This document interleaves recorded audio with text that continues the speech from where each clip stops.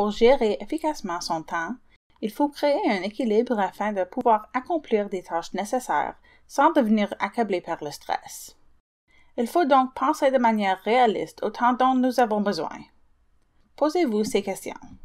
Combien de temps est-ce que j'ai? Il y a 24 heures dans une journée et 168 heures dans une semaine.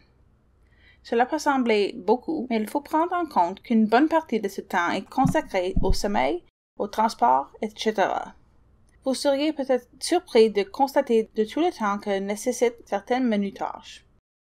Combien de temps ai-je besoin pour le travail scolaire à l'extérieur des cours? Tout dépendant de votre programme, vous devriez passer en moins une heure sur vos travaux à l'extérieur des cours pour chaque heure de vos cours.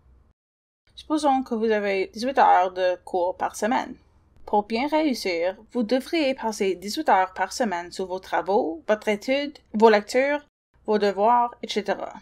Ajoutez-y vos heures de classe et cela donne 36 heures par semaine, soit l'équivalent d'un emploi à temps plein.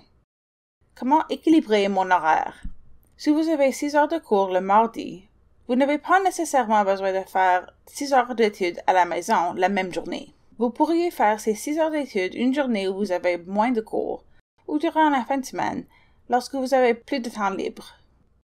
Lorsque vous répartissez votre temps d'études sur sept jours, vous avez probablement environ seulement deux ou trois heures à faire par jour à l'extérieur de vos cours. Pour établir une routine, il vaut mieux faire un peu de travail tous les jours. Cela améliore aussi la qualité de l'apprentissage et la mémoire. Pensez à vos moments les plus efficaces et planifiez-y votre temps d'étude. Par exemple, êtes-vous efficace à une heure du matin? Toutes les heures du jour ne s'égalent pas nécessairement.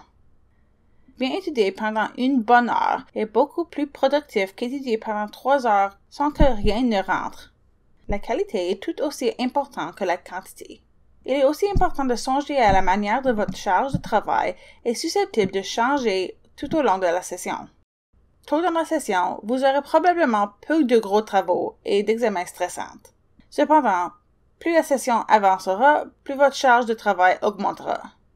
Vous aurez probablement plusieurs travaux et examens importants au cours d'une même période. Souvenez-vous de planifier à plus longue durée que seulement une semaine. Si vous avez plusieurs semaines intenses à la fin d'une session, il peut être utile de commencer des travaux plus tôt lorsque vous avez plus de temps libre. La gestion du temps se fait beaucoup plus facilement avec des outils comme un horaire hebdomadaire, un plan de session et une liste de tâches. Vous en apprendrez plus sur ces outils dans ce module en ligne.